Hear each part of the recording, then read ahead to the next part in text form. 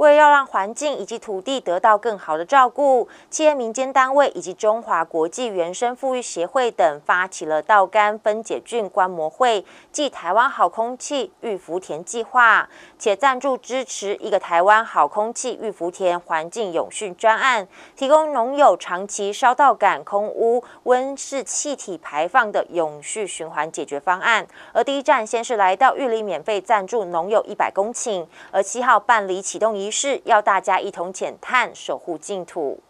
为了让环境以及土地得到更好的照顾，企业、民间单位以及中华国际原生富裕协会等发起了道感分解菌。观摩会暨台湾好空气育福田的计划，更是赞助支持一个台湾好空气育福田环境永续专案，提供农友长期烧豆感空污温室气体排放的永续循环解决方案。我们一定把所有的企业界，我们企业界的好朋友，全国都把它带过来，尽可能带过来。那么除了这个一百公顷、两百公顷到两千公顷之外呢？还有呢，还要把这个米呢，再把它买回去哈。那么让这个当地的农友哈啊，你用的这个不但你可以呃，就是环保啊，而且你自己本身很健康哈。那很重要的就是说，还可以把你的米买回去。那我们一定会发动啊，所有的呃我们企业界的好朋友们，这么好的地方，一定把他们带过来。并且呢，我们来促进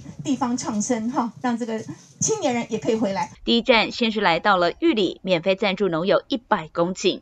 一月七号办理了启动仪式，将发动以及结合企业界及新创楷模各分会力量，一同减碳守护净土。透过这个基金会，他来做一个承购以后，他是用免费的方式，先让我们的农友来试用、来了解，才会有今天的这个。呃，说明会也教大家怎么样来使用哦。那如果说哎，大家用的好的部分，那我们就要希望是不是我们的基金会这边是可以长期的来提供给我们这样的帮助了哈。这真的是一个做福田做好事啦。让我们的空气越来越好，好不好？好，好，我们大家一起加油，谢谢。